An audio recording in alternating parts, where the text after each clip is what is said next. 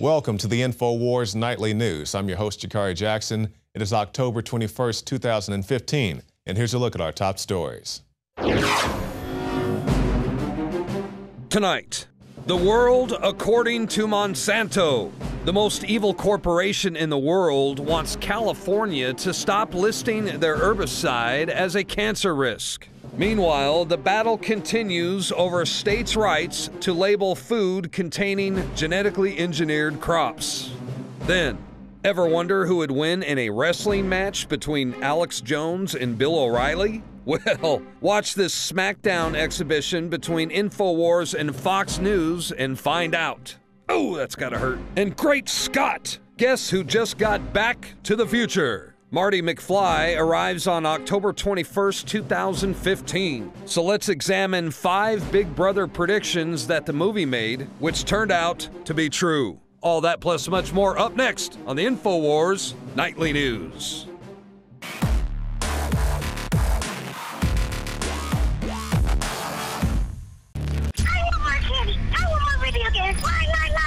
And it's that type of behavior that spurred me to do the research to develop a true nutraceutical formula that was designed to smooth out and help children focus. All of our children are hit with modern mind control. Television, music, fast food, GMOs, sugars, you name it. Young humans have not yet developed their nervous system and are being hammered daily by globalist concoctions. It's no wonder they can't focus and calm down and then are put on dangerous psychotropic drugs. Working with my team, we set out to find the best formula with the highest quality ingredients that children would actually like and take. We worked with the leading manufacturer in nutritional supplements that are safe for children to bring you the most affordable and powerful calming formula out there. Introducing Child Ease with herbs and calming extracts like chamomile and lemon balm and essential nutrients that taste great. Obtain your Child Ease today at InfoWarsLife.com. That's Child Ease exclusively at InfoWarsLife.com.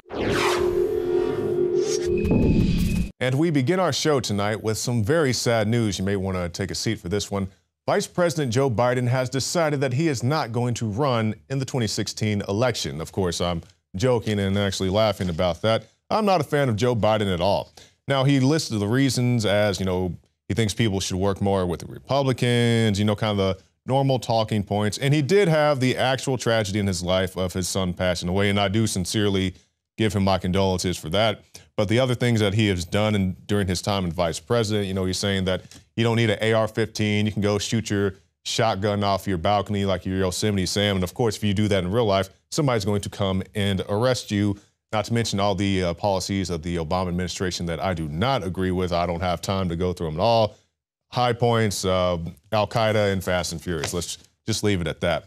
So I'm not a fan of Joe Biden, but I'm also not a fan of the people that he's pretty much clearing the deck for. One person in particular, uh, one Hillary Rodham Clinton. Is that her full name? I think that's her full name. And so with Biden gone, they're pretty much putting the laser focus now on Hillary. Of course, you got guys like Bernie Sanders and other people in the party, but you know, she's the big gun right now. And some people in the Republican Party are actually pretty happy about that. They feel that they could easily whoop Hillary. You know, I'm if I had to guess at this point with Biden gone, I think it's going to be for uh, the big debates, it's going to lead up to probably Jeb and Hillary. You know, I could be wrong. I just don't see a guy like Trump getting the nomination. Not saying I back everything Trump says and does, but he's a very popular guy. But I just can't see the Republicans putting their much their faith and that much trust into a guy like Trump. He's a little bit too much of a wild card as opposed to Hillary. We'll see what happens. Uh, I think right now she is pretty much in the lead. But as we're talking about Hillary, you know, we see all these reports about fake uh, Twitter followers, fake, you know, people on Facebook or whatever liking all these politicians. You know, they got a million plus followers, and people ask, well, how many of these people are actually real? But now goes beyond the digital planes. Now they're actually enlisting people on their campaigns that don't even endorse them. And we have the article three politicians call out Clinton camp for falsely claiming that they're endorsing Hillary. And one of these people is Wilmington, Delaware Mayor Dennis Williams. And he even went as far as to say that he'd rather see Joe Biden get the nomination. I guess he made these statements before Biden dropped out of the out of the race, and also the San Antonio mayor, mayor, excuse me, Ivy Taylor, and Bexar County Commissioner Tommy Calvert. So all these people are saying that no, I don't endorse Hillary. I don't know how they decided that I was endorsing Hillary, But, you know, it just goes to show the kind of hubris of these people that they'll say, like, yeah, Mayor so and so endorses me. Then somebody calls up the mayor, hey, are you a fan of Hillary? They said, no, I'm not voting for Hillary Clinton. What's wrong with you? And now people are asking, what's wrong with Monsanto? Because besides the fact all the rats are getting cancer from eating the materials, if their crops blow over into your farm, they say that you're stealing their products and all that other kind of silliness.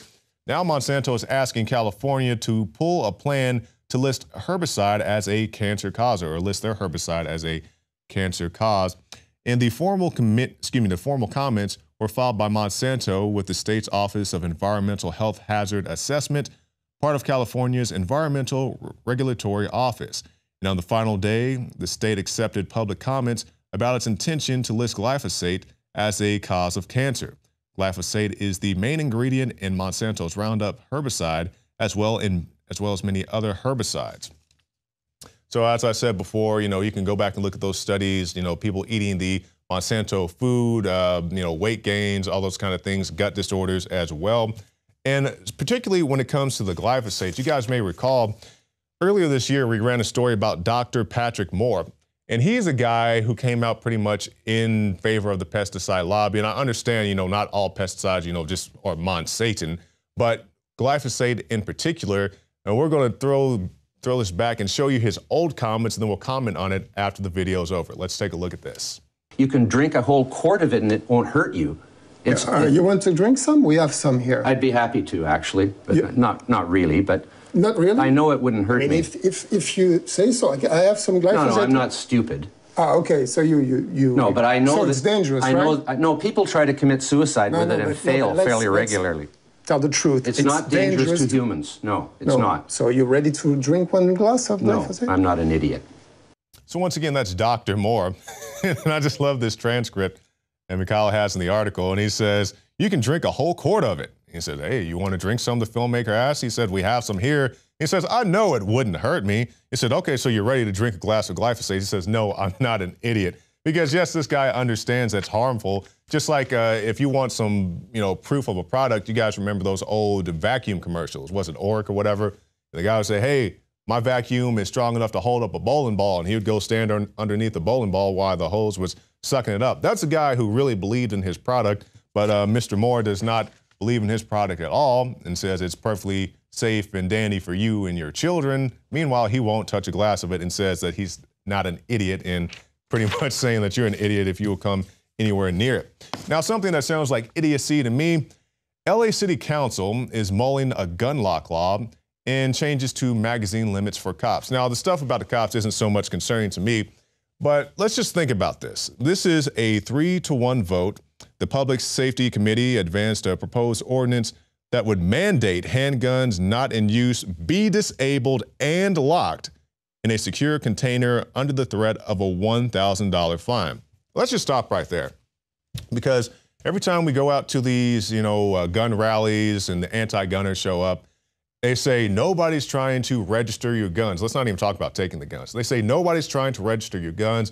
There is no gun registry. It's illegal. It's this, it's that. And yeah, I agree with you. There are certain laws that say that it's not supposed to be in existence at all. But let's go to the very common sense argument. If I'm LA County and I want to fine people thousands of dollars for not having their guns locked or disabled, how am I going to enforce this? I'm going to go to the homes of the people who own guns. How am I going to know who owns a gun? I have a gun registry. I mean, it, it's like the most ridiculous doublespeak that has ever existed that there is no gun registry, even though they're going to fine you for not doing what they want you to do and they're going to show up to your house because they know that you have a firearm. I mean, it's it, it, just it sincerely leaves me at a loss for words that people can't understand this.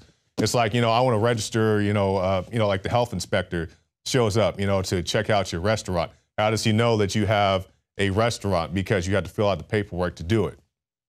You know, they come up and and check out your your taco shack or whatever else you got going on. So, or or the other, you know, I don't think this is the case, but let's say they don't have a gun registry. Well, how are they going to check if you have a lock or not on your firearm? They'll have to go door to door like they did during Hurricane Katrina, which would actually be even worse. But also, I want to point out they say they said that the firearm has to be disabled and locked, which is to say, I guess you'd have to remove the barrel or, you know, disable it in some type of other way and then have it locked in the case. Now, personally, you know, I do have a gun safe and I bought my gun safe at a time that I lived in not such a great area where people would break into people's homes. And I never had my home burglarized, but I know many people that did. So I took it amongst myself to go out and purchase a gun safe. Now that's for me and my situation. I don't have any kids. It's just me and my dog. Dog doesn't want to touch the gun. To her, it's just a big metal stick that's not fun to chew on. But some people do have kids. They may have mentally ill people in the home. You know, I said I personally own a gun safe, but I'm not trying to mandate that for anybody else, especially if you don't have the gun in your use and they say you have to disable it, leave it in a locked thing. Well, what if somebody breaks into your house at three in the morning? Are you going to go not only unlock your gun safe, but then assemble it, you know, like your Forrest Gump, you know, set off the stopwatch and then shoot the guy? No, you don't have time to do that. Somebody breaks into your house three in the morning. It's completely ridiculous. And these are the type of laws that we're going about. These aren't common sense reforms. These are things that are going to get you killed, you know, having to reassemble your gun and pull it out of a locker. It's completely ridiculous. Now, one of the big things going on today is it's Back to the Future Day. To anybody who knows what I'm talking about, the Back to the Future films were set pretty much today in 2015. And now Kit Daniels has an article talking about five things that actually came true, predictions that were made in the movie that actually uh, came to be. Now, one that's not on the list uh, that David Knight pointed out, and we'll play this video. The uh, character in the movie, Biff, has a very strong resemblance to Donald Trump, and he was actually president in 2015. So let's go take a look at David's piece, and we'll come back and look at Kit's article. It was 30 years ago in 1985 that Doc and Marty went back another 30 years to 1955. Then they went back to the future, to today. Hey, Doc, we better back up. We don't have enough road to get up to 88. Roads? Well, we're going, we don't need roads. Well, there's no flying cars, and it isn't the roads they say we don't need. They tell us where we're going, there won't be any drivers. And there's no hoverboards or self lacing shoes, but at least we're not plagued with fax machines. You may just need a lightning strike for power, since Obama and the EPA are trying to shut down most of the power plants. What the hell is a gigawatt? That's a power. But the movie's future resembles the present in a couple of very strange ways. The Cubs got in the World Series, and even stranger, Discover how in 1979 Biff successfully lobbied to legalize gambling and turned Hill Valley's dilapidated courthouse into a beautiful casino hotel. I just want to say one thing. God bless America. For Infowars.com, I'm David Knight. Now, as we look at the article, we see the top thing that Kit has listed here the personal drone. And he says flying drones appear numerous times in the Back to the Future's 2015 film, or set in 2015. And in one instance, a drone even takes aerial photos for a news organization. As we all know that drones are becoming more popular, popular not just for news organizations, but for private individuals as well. Now, another prediction that came true was weather modification. Now, to anybody who would say that weather modification is just some type of hokey conspiracy theory, I do challenge you to go look at the USA Today articles where they say that you should modify the weather during the Olympics to make sure that everything is nice and pleasant. So you can go look that up on your own time. And in the movie Back to the Future, they have a conversation amongst themselves, Marty and Doc, and they say, hey, you know, the government can control the weather now. First, you've gotta get out and change clothes. Right now, it's pouring rain. Wait five more seconds.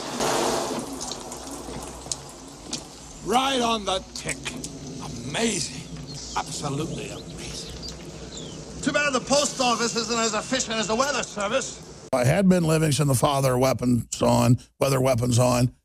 They could take a clear sky in Vietnam and rain 10 feet of water anytime they wanted on the Ho Chi Minh Trail with less than seven aircraft. And that was with primitive technology. They could create hurricanes. They could kill hurricanes. They could strengthen them. They could weaken them. They could steer them. They could control them. He came on my show on radio and TV and then got a visit